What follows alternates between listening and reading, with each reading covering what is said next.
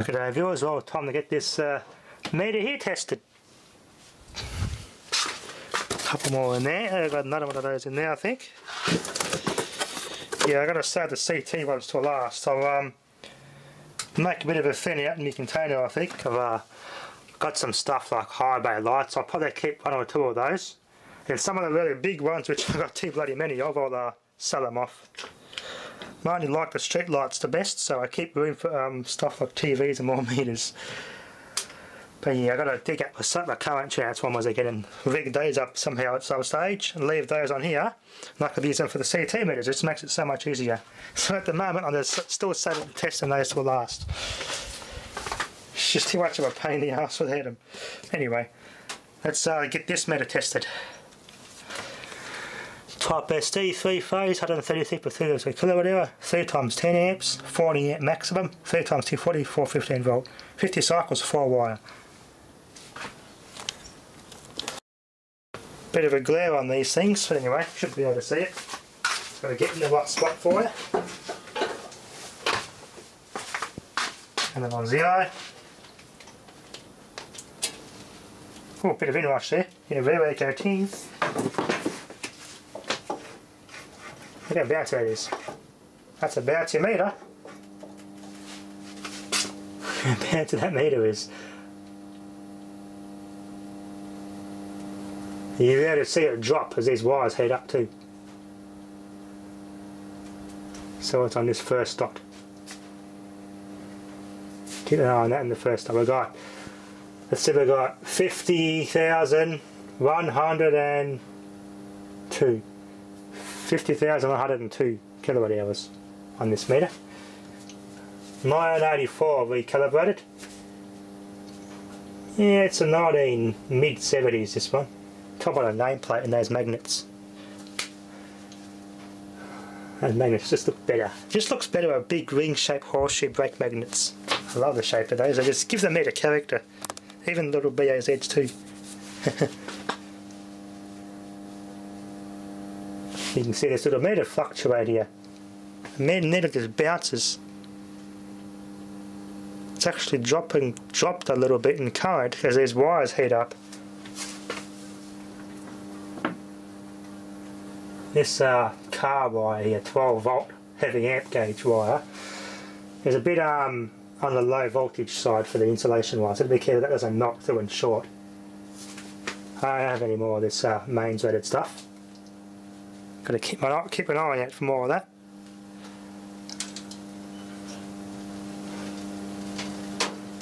You can see how current fluctuates. It's about 35 amps there. That meter works quite well for something that had water in it and rusted a little bit. I saved it just in time. Because up in the mountains where they lived, it was just always the clouds, right in the bloody clouds.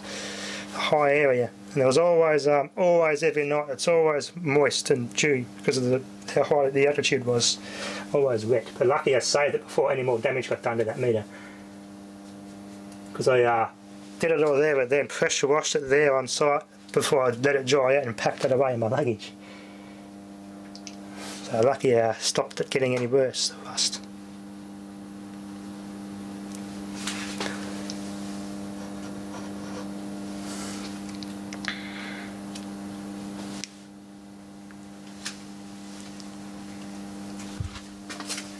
Ta Sing brand, Taiwan meter.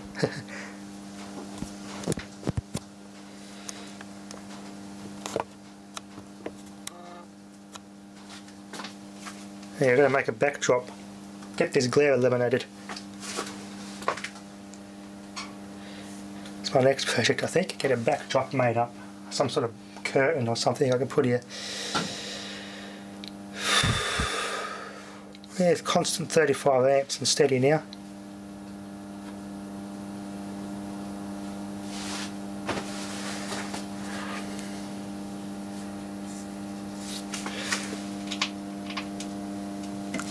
Pretty good.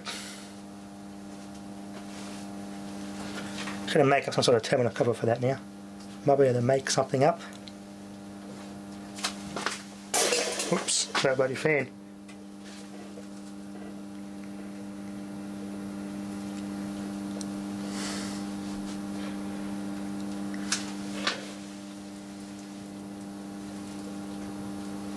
Look carefully, there's a tiny bit of fluctuation in that meter. Which is all uh, an energy way, energy saving. I'm not really pulling that much off the grid. So, phantom loading saves a lot of energy.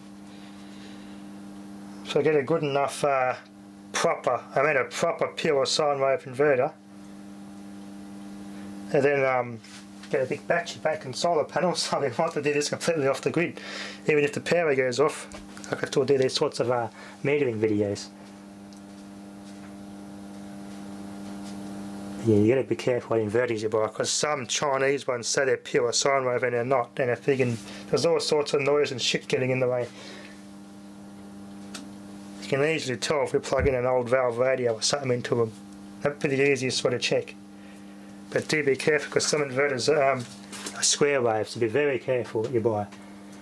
So I've, I've, uh, that's why I've been, I've been reluctant to buy a bloody inverter lately. Better off with a, a decent UPS. A UPS is the only thing that puts it at best, a guaranteed good sine wave, pure sine wave that is. You know, these Chinese inverters are just, you know, do too much more damage than good. Till I can find a good enough brand at a good price, at least 2 kilowatt rated, It actually does put out a good pure sine wave. Yeah, I'll wait till I get one of those.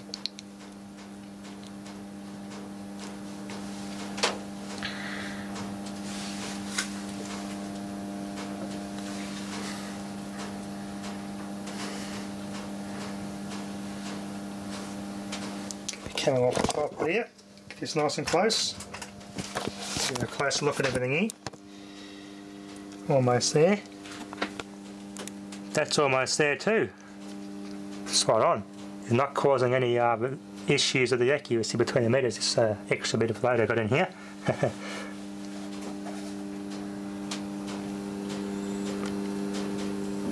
see the maker? Ta Sing. YL70 brand. There's its company logo. Ta Sing.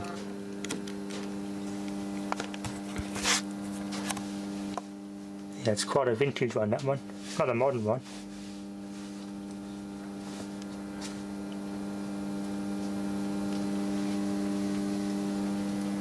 One more. Yep, pretty good. I would say there, the saves getting the clamp meter out of time. He's brilliant.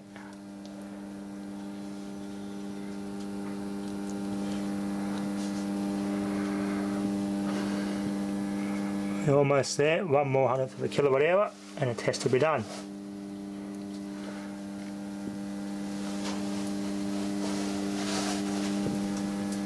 He's wired up like he's in this uh, car. Using different, I'm using all mains rated wiring except for this car one. It causes a little bit of an issue with the uh, resistance and causes it to go slightly out of accuracy, only a little bit there. Spot on, pretty good. That's a bouncy meter. Unplug safety first, zero it off, let's get this thing cleaned up. Still bouncing. wow. Okay, all nice and cleaned up. A bit of cloth tape's been under here. It's gotten stuck on there pretty hard. There we are. Found a I cover for from my last metering score. Bit newer this one. Of fits. I've got plenty of these. It's off one of those new electronic meters, this car cover.